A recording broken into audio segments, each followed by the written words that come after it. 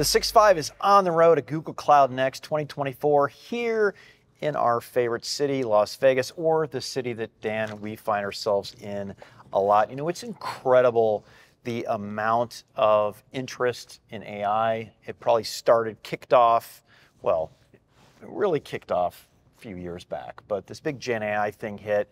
And we both said in our end of year podcast, if you remember, that 2023 was about putting the building blocks together. And then what did we say about 2024? It's going to be the year of AI implementation. There we go. Exactly right. Yeah, it's a it's it's starting to come to fruition. You know, we knew that you and I, you know, we like silicon and semiconductors, and that was part of what we heard here at Google Cloud Next today. But we knew that all this infrastructure, all this spend that's going on in the marketplace right now was going to need to start yielding returns. So all these these cloud providers that are building these big AI data centers, they need to build applications, they need to build tools and technologies that enterprises and consumers can drive right. the future off of. And uh, we got a little bit of that here today at Google Cloud Next in Las Vegas, which I'm going to go ahead and say, not my favorite place, but it is an amazing place to have a conference, and this conference so far has lived up to the expectations. It is great, and a lot of the enterprise that we talk to, I mean, it literally is where do I start? Which workloads do we prioritize here? And with us, we just happen to have Oliver, who leads GTM for generative AI, with us. Welcome to the Six Five. Thanks for having me. Appreciate yeah. it. We want to learn all about, you know, your multiple times around the globe and, and what you're learning about customers. We really appreciate that. Yes. Cool. So Oliver, uh, you are a you you you left and now you've come back. He's you, back, baby. You uh, give me and uh, give us a little bit of the background. What what drove you back to Google Cloud? So I joined Google Cloud from Microsoft in 2018. Um, I came over because I saw the opportunity and what Google was starting to build out. Basically, is they were really doubling down on cloud. This is just before Thomas turned up. Um, I worked for four years and built out a lot of the stuff on the West Coast. Some super exciting customers, many of the ones that are here today and sort of we've been talking about. Um, and then I went, uh, worked for an identity and security company, a company called for the last couple of years, and then rejoined in January to uh, lead the AI go-to-market effort, and specifically more around generative AI. So I, uh, I came back because I think for any of us that are sort of sitting in this world, and I was sitting in it in a security world, Right. You saw the opportunity, but the bigger opportunities with generative AI across all parts of the stack and across all platforms. So uh, it was a great opportunity that I, I couldn't pass up and uh, excited to be here. And good to meet you both. You too. I can't imagine a better opportunity too to come into and just the, uh, I mean, I was working during the internet build out and me too. This excitement is is literally it's it's it's just it feels so much bigger and more real because you know we did the internet build out, you know, did the dark fiber, and then you know every, everything went kaput. But what was there created um, literally the next two or three cycles. I mean, you, you couldn't have had smartphone without the web, right? You couldn't have had social without the web. It just it changed everything, and I, I, I feel like this this is right as analysts we have to distinguish between trends and fads, and this is an absolute uh, trend. So you obviously talk to a lot of customers. You and your team, you're you're flying around, you're talking to them. What are you hearing? What are they talking to you about? Maybe talking about their pain points. Why why Google? Why do they go with you? Let me I just I think you you mentioned I just got back from a a world tour. I sort of I think I sat with 80 plus customers in I think it was about 40 days. Um, a really, really good experience. Obviously, I came in and my number one was priority was to go sit in front of clients, whether they're existing customers, potential customers, or um, you know prospects. Um, there's a few themes that sort of came back, um, and you mentioned sort of one of them. You talked about the building blocks and production. I got a slightly different phrase, but I think it's the same thing, which is a huge amount of sort of focus moving from experimentation to production. Yeah. And I've even got sort of a, a, another phrase that I think of is there's some great experimentations moving into production, but I think the next phase after that becomes scale production. So you're actually seeing some really interesting stuff start to go into prod, but it's still in small parts of the organization. Or it's a customer facing chatbot in a digital channel, but it hasn't been propagated across all digital channels. And I think right. sort of this phase and this year, to your point, this is very much about production. And I think those companies that are more on the leading edge, you'll start to see more scale production, which I think then this becomes then this really lights up in terms of sort of blowing the doors off, I think, of where it can go. So that's sort of that's sort of one bucket. The other bucket is sort of a huge amount of conversation around use case. I mean, obviously, to your point, the technology is the foundation, Right. But sort of this moving out of just experimentation and figuring out where do I spend my time. Lots of engagement with the clients around help us identify use cases, and they're typically ending up being industry-based conversations. So, a lot of conversations around business processes, depending on your industry, are really driving how generative AI can make a difference to their business, whether that's on the productivity side, sort of automation on the back end, or even very specifically around customer experience, like we just talked about. So those would be a couple of the big themes that I got from my conversations over the last Yes, few weeks. It's interesting too. Um, what we're seeing is um, typically the data domain, and I don't mean in the data scientist uh, realm, but it's typically reserved to the data domain like ERP or SCM or PLM. But, but the future is going to be all about combining those different types of data to get, get the best output possible. And um, again, we're, we're literally just at launch, but uh, you know, we've talked to enterprises that, that are able to, you know, increase productivity 40, 50% in some areas today. And that's not a theoretical number.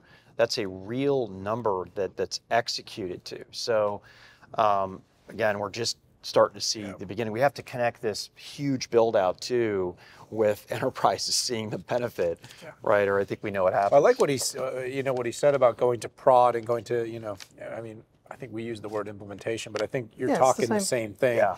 And the point is, is that is really the kind of the chasm that companies are crossing right now. As they went from, hey, we did something very limited in a very small scope, to hey, we're going to do it a little bit bigger. We're going to deploy it, and then it's about speed. You know, we've got a lot of intelligence on our side as analysts. It's basically saying companies are spending more, but they're they're they're they're also they're concerned about the ability for their vendors and their in- integrators to do the work competency capability so we're seeing a lot of pivot we're seeing a lot of uh, high expectations but we're also seeing a lot of budget shift that way which is you know another reason that first question I asked you why'd you come over here more budget but it's more budget, but honestly, it's if you think. I mean, to your point, I was around in the tech build out at the end of the '90s, and you were building something, although you didn't know what was going to sit above it. Yep. Yes, we're building out stuff, but we know what's going to sit above this this time. That for me is the difference. Like there was this big, to your point, fiber infra build. Yes. We didn't really know what was going to happen in 2000 and that sort of stuff. I think we now, it's almost like we're redoing it, but we're re- redoing the whole stack, not just the lower part of it. So, from a Gen AI standpoint, right now, why are customers picking Google Cloud? And sort of, how do you see yourself? What's the thing that's helping you win against those other very capable uh, cloud providers in this area? I think the first thing, I still think we're still in a bit of, this is still an early phase, right? absolutely. Like, I think there's a lot of focus on the model, right? Sort of, I've sort of said in my times with clients, the model, it's a lot of model game, okay? Whether it's us, whether it's OpenAI, the great work that the Anthropic team are doing, a lot of the stuff obviously in open source. There's a lot of focus on the model, but there's as much focus on the model, especially when you get into the enterprise space, as there is on the platform. Right. And you know, in addition to the great work that I think Demis and the DeepMind folks are doing, there's a huge focus. And you saw the announcements today around Vertex. So for me, when I start to think about the calls that we might get that maybe one of the other providers doesn't get, and I'll be as diplomatic as Thomas is, a big part of it is we have first party model. We have a really strong commitment to the ecosystem and other models. But we also have a really strong platform where we're basically taking out a lot of the complexity of building and running AI at scale across an organization. And then you look at our history, sort of the of 20 years. Yeah, you have a lot of the history of building it. I mean, I know you met with Mark today from the infra side. You look at what we're doing with TPU, GPU, and obviously the announcement today with that for Axion and, the, and right. the ARM. Like that infrastructure has been built over time to serve at scale AI centric applications, which is obviously our own applications. So you take all of that goodness and history and culture, you then apply it. I think that's one of the reasons why we're getting the call. But I will also say Vertex becomes a really important part of that conversation because that's the platform which we think becomes really the core AI platform for accessing all these different models over time. Yeah, it's interesting. Um, we get a lot of feedback that talks about Vertex AI simplifying, and I, I think you you just talked about removing complexity. There's so many questions, and I feel like what you've done on Vertex AI, and then adding um, grounding Yes. techniques, uh, RAG techniques to be able to leverage some of the uh, on-prem data uh, is is going to be super important going into the future. One thing I don't think you get enough credit for is the fact that Google actually has the largest data state of any company on the planet. You were pretty good with data.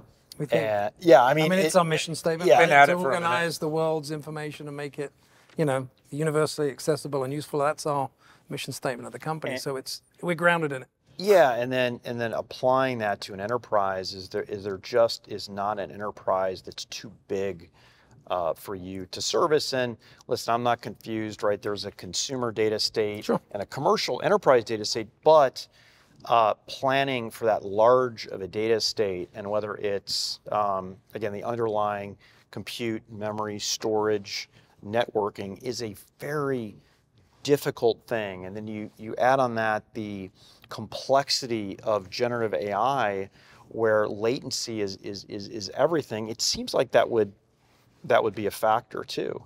I think so. I mean, I think you know, we I often talk to clients that infrastructure is not commoditized. I know you guys know infrastructure and chips better than most. You understand what we've built from an infrastructure standpoint, which is highly specialized and honestly, unbelievably performant relative to other platforms. TPU is incredible. Yes. I mean, the fact that you trained all of your Gemini models on the TPU Yes. is a mind blower when I think conventional wisdom is like, oh, you can't do an LLM without a GPU. And listen, I know Google Cloud loves GPUs too. We do. Uh, and but We love all platforms, no, no, but yes. exactly. But I, I still think that that is pretty good. And and there's even not a knowledge, an understanding that that you do some of your own networking silicon, and and and it's custom. I, I I could talk about this all day, but you know we do have to let you go because I'm sure you have some places to be, Oliver. But uh, talk a little bit about you know kind of some of the overall you know most interesting things here at the event. Things that maybe what are the things you're hoping that the audience out there hears from from your perspective about generative AI go to I mean, I think some of the um, some of the announcements today were pretty incredible. Not as much on the model piece, but actually on the platform. And I'll always come back to the platform. I sort of spent the, almost close to 30 years selling to the enterprise, and I think you have to have that platform in place to be able to run these systems at scale. And to your point, you know, whether it's the privacy, it's the safety, it's the responsibility aspect, and all the tooling we're putting into Vertex, that for me is a really important part of our story. Um, I think the other thing is just continue to watch the evolution that we're doing with Gemini. And I've just been actually with some meetings with Demis and some clients, and just the rapid innovation and how they're thinking, sort of, you know, not just the next iteration relative to sort of OpenAI or something, but actually way further ahead. Right. I think you'll continue to see us show deep leadership around sort of model capability. And then the third thing is, you know, you, you sort of talked about it, but we're a big believer in open systems and open platforms. And yes, we obviously have our own first party, but the work we're doing with Anthropic, the work we're doing with Mistral, um, the other, all the, you know, Hugging Face, like our commitment to the ecosystem is as, as centric as it is to our own first party. And I think that's sometimes what people are now starting to think about Vertex is really Vertex becomes your control plane for AI. And then really we see an ongoing proliferation of models, and Vertex is almost like the entry point for running and building all your AI across a multiple set of models. And we also think over time there'll be just huge model proliferation, whether it's at the foundational level like Gemini or even domain and task. Those would be the three areas I'd say we feel very good about from an announcement standpoint today.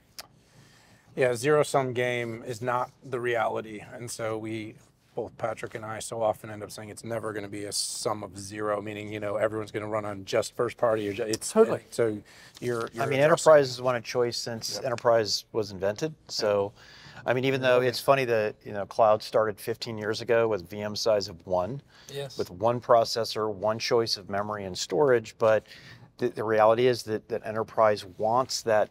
They want that diversity. And I also think, like in some of the models, the, some of the stuff that the open source community is doing, and you get into smaller size model. There's going to be value in lots of different models, and I think we want to embrace that. Yeah, I'd love to have you back sometime to talk Awesome. about that. Oliver, thanks so Thank much you. for joining us here Thanks, on guys. Six Five. Appreciate Thank it. Thank you. Thank you. Thanks for having me. All right, everybody, hit that subscribe button. Join us for all of our coverage here at Google Cloud Next 2024 in Las Vegas. And of course, join us for all of our 6 5 episodes. But for this one, for Patrick Moorhead and myself, it's time to say goodbye. See y'all later. Thank you.